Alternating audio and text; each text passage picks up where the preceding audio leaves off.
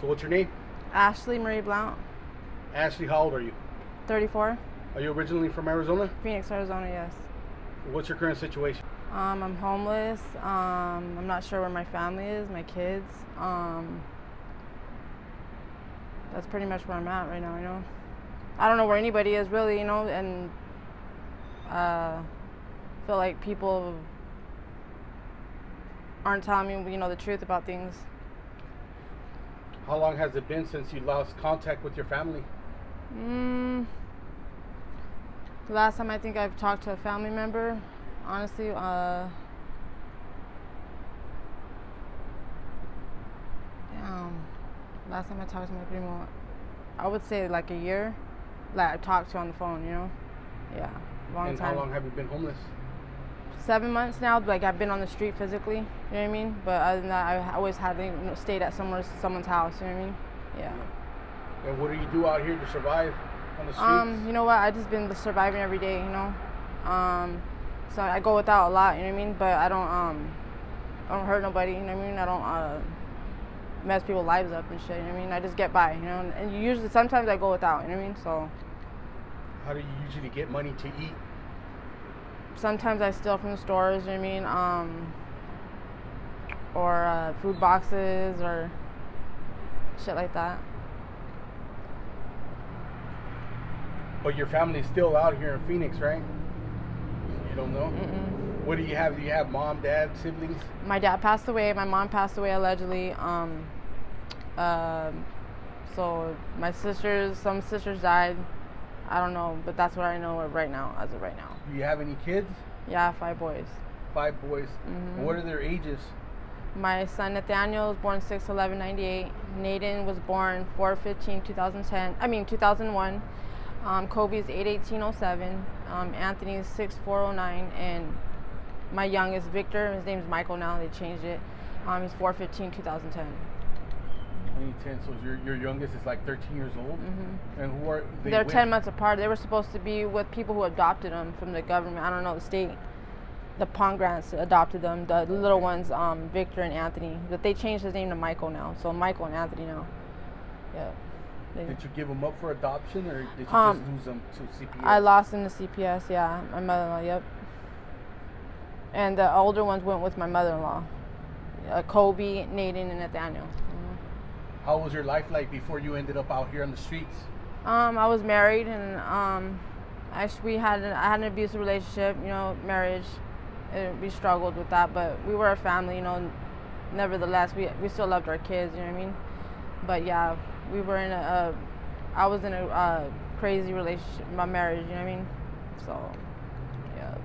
Were you working? I worked, yeah. I worked at um, Walmart when I was married with him, and he worked as well. Uh, Like when we first met, we were working. I was Yeah. working at Courtyard Towers, and he was working at Action Sign. Then he went to Court, um, Courtyard Towers where I was at as management, and then I lost my job. I got pregnant, and then we moved out to Payson. And, but when I was out there, I got a job at Walmart. but yeah. Mm. And what happened to him? Um, what do you mean? Is Well, he my- out here or? No, he my, my he passed away too. He Oh, he passed away passed away? in Las Vegas. He was he was killed. Yeah, and um yeah, and um but in Payson he was working too at Del Taco and but my son got injured from a tankless water system from Japan. It was installed, and um, I guess when they did their investigation, it was they said it was spouting out like 160 Fahrenheit coming out the faucet. That's hot. You know what I mean? But um, it was a, a tragic situation. You know what I mean? My son, you know, got in the sink. It was hot water in it. You know what I mean? His his when we took off his onesie, his body, his from his feet down were degloved from the hot water. He was wearing a onesie. Thank God, one side was, or he would have been way worse. But that's how what happened. He got tragic a- accident, and my Theo died right after that. So it was like bam, bam, two things at once. You know, my son got injured, then my Theo died on us, and it was just all bad. What son was that? Was that the youngest? My youngest, yeah. Is that the reason why CPS took them? Yeah, see, no, see, no, CPS got involved. It was the um, they didn't get taken because of that. It was afterwards. Okay. Yeah, the uh, domestic violence call. We got in a fight. Me and my husband. I think I went to jail, and then after that, they took him because um, they said that he was. They were walking by the canal, which was not true. We didn't open the gate. You know what I mean? I don't believe that happened. There was no way that there could have been a gate open. You know what I mean? I think someone opened the gate and they just went in, or they had ties to, you know, there was some conflict of interest or whatever with ties with the um, CPS worker, obviously. You know what I mean? And don't know, but they yeah they took my kids for that, and I went to jail on a 500. I went to jail for the first time, never got OR'd. I stayed in there 30 days. On first time, never been in jail, nothing like that, and I got 30 days. They kept me in there. Let my husband go out, and I got I had to stay there 30 days for Christmas and New Year's, away from my for the kids for the first time. Yeah, no, not DV. It was just a um uh like what is it when you get um like a seatbelt thing um life threatening, uh, endangerment. There you go. Endangerment. Yeah, yeah, yep. Yeah, that's crazy. Mhm. Where do you usually sleep at night? Do you have a tent or you just Uh, no, I s- anywhere? everywhere, anywhere. Yep. I visit people, whatever else, crash out, alley, whatever. It's everywhere, everywhere right here. dangerous or what? Huh? No, It's not dangerous I haven't been hurt. No.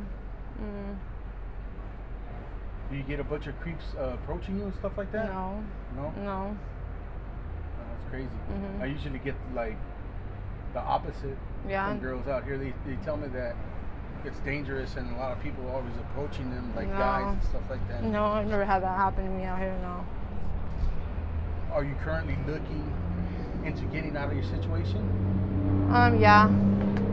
Yeah, I do. I've been thinking about it a lot recently, and I mean, what what I need to do. You know, this whole thing with me arresting me though, it really set me back. You know, like upsets me because the 7-Eleven person said he didn't even call the cops. You know, they just went on there and just took me in right away. You know. Yeah. Then they sent me to Peoria. Then they sent me to Phoenix City Jail. It was like they took me a couple hours just to get to the original jail. I was like, that's some fucked up shit, but it's okay. You know what I mean? It's whatever.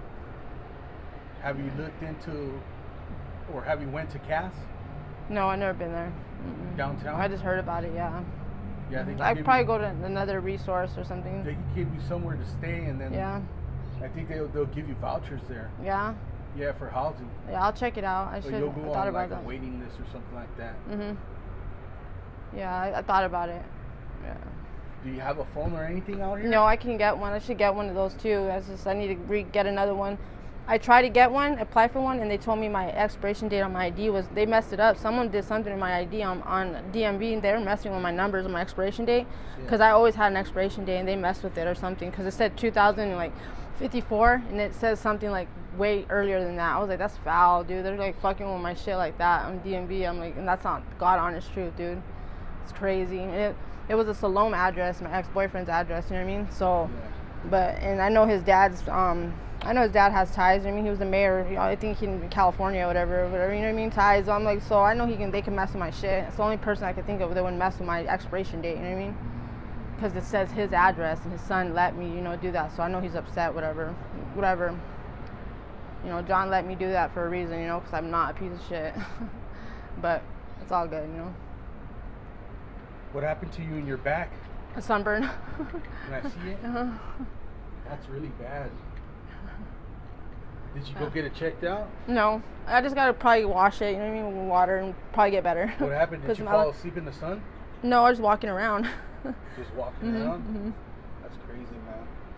If one of your loved ones does get to see this interview, hmm do you have any words that you want to tell them? Um.